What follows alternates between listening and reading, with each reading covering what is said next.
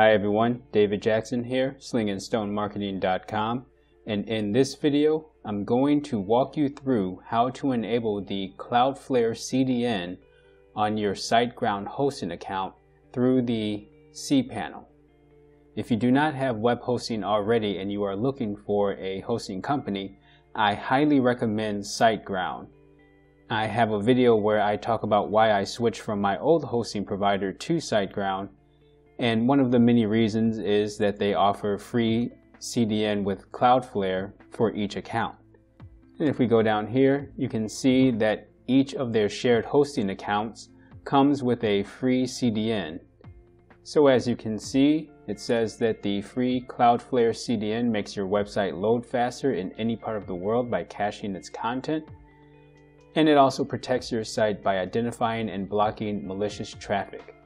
So this is just another layer of protection that you can use for free to protect your website and keep any malicious visitors from even accessing your website.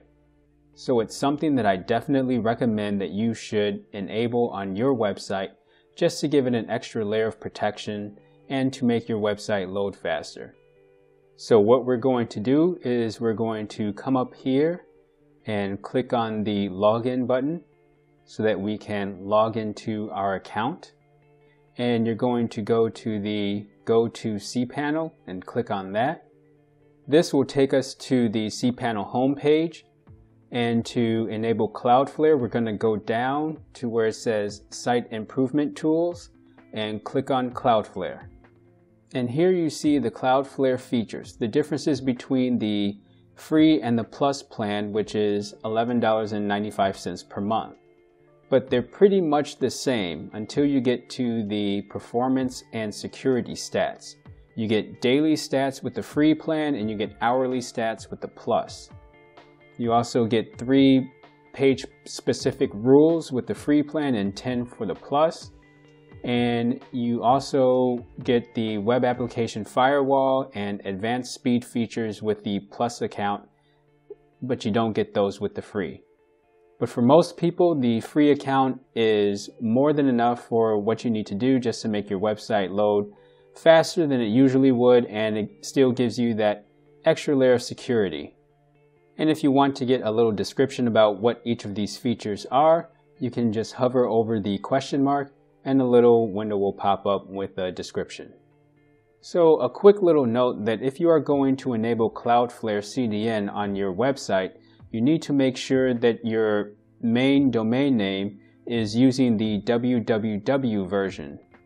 And if you try to enable Cloudflare on a non-www domain name, it will give you a message asking if you want them to automatically configure your website so that it points to the www version. Then you are going to come down here and click on Activate Free, fill in your email address, and click I confirm that I have read and agreed to the terms of service, and click Proceed. Then it's going to take a couple of seconds for loading. And now, as you can see at the bottom, it says Activate Free.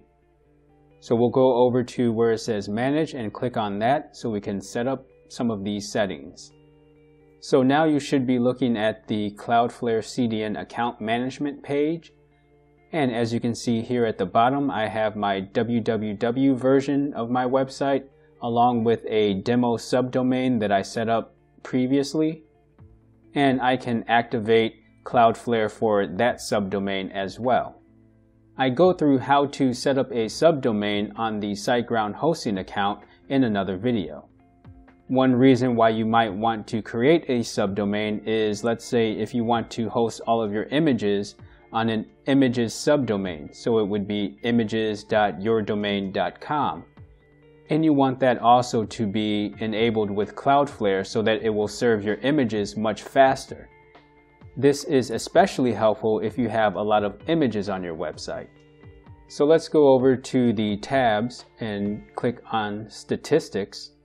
And this is where you can view things like your page views and unique visitors. And you can also see things like the number of requests served and the amount of bandwidth used.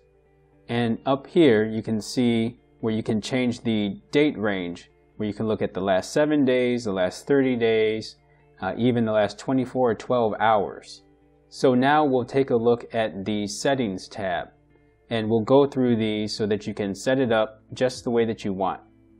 For the caching level, I'm going to set it to aggressive. And if you want to take a look at what that is, you can mouse over here to the question mark and it will give you a brief description of what it does. Then you can purge the cache if you want to get rid of everything that is in the Cloudflare CDN cache. Uh, you have the development mode, which you won't need unless you're doing development. Then the web application firewall is only for the Plus account, so that will stay off. Then the Cloudflare security settings, you can see a description here. They have it defaulted to medium, but I like to have mine on high.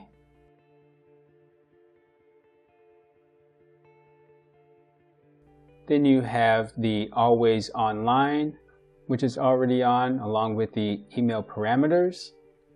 And down where it says speed, the auto minify, we want JavaScript to be on, CSS to be on, and HTML to be on. Next we have Railgun, and we can take a look at what that does. Uh, it gives us a web performance optimization, so we want definitely want that on. Then you have the SSL support. So if you have an SSL certificate so that your website connection is secured, then you want to change that to full strict. And lastly, you have the additional plus features, which is only for those who are using the plus account. So now your Cloudflare settings are all configured and we'll go back up to the top and click on the trust block IP list. So if you have any IP that you want to block, you can just add that here and click on block. Or if there are any IPs that are blocked and you want to add them to a trust list so that they are able to get through the Cloudflare CDN, then you can add them as well. So that is how you set up the Cloudflare CDN on your SiteGround hosting account. And I hope that you found this video helpful. And if you like it, please give it a thumbs up. It will give me an opportunity to help others. If you'd like to see more videos like this, be sure to click the subscribe button so that you will be notified when I post new videos. If you have any questions, comments, or topics that you want me to cover in future videos, be sure to leave them below in the comments section. And if you followed along with this video and enable Cloudflare on your website, use the hashtag GiantSlayer. It will let me and others know that you conquered this giant obstacle that was standing in your way from making progress. I thank you for taking your time to watch this, and I will see you in the next video.